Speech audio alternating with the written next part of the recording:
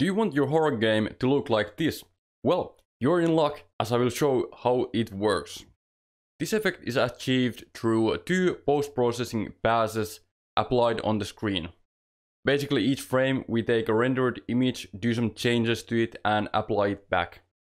To enable this in Godot, I have this node setup. First the scene nodes for the forest stage and then this canvas layer with the color rect child. The color rect is set to cover the entire screen and I have a shader material on it. Here I can access the screen texture with this uniform. This here is the entire code for the Bayer dither shader, which is the one I'm applying first. Now I'm not going to cover all of this code functionality, but instead I'll point you to some resources. Here in the Godot docs you'll have fantastic write-ups for the shader basics. Particularly this custom post-processing page is the one covering the screen level post-processing effects.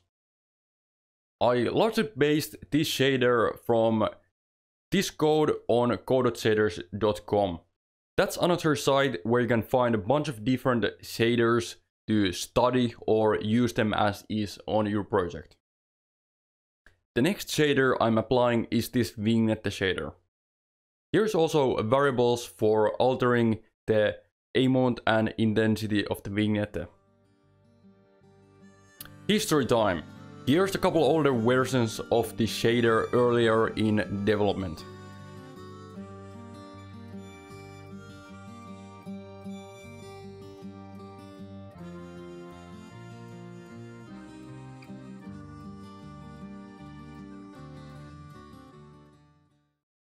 But now I have a problem. If I want to have UI elements, the post-processing will also be applied to those. What's the solution? Well, rendering the UI elements above the post-process passes. This can be achieved with a sub-viewport.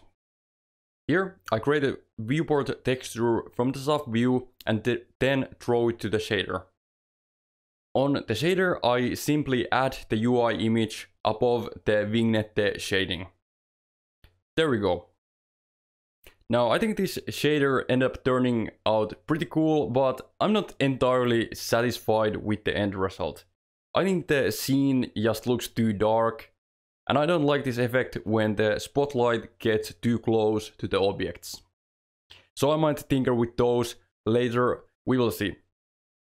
But I will also be developing a couple more features for this one, such as running, stamina and flashlight meters, and having a crowbar as a weapon.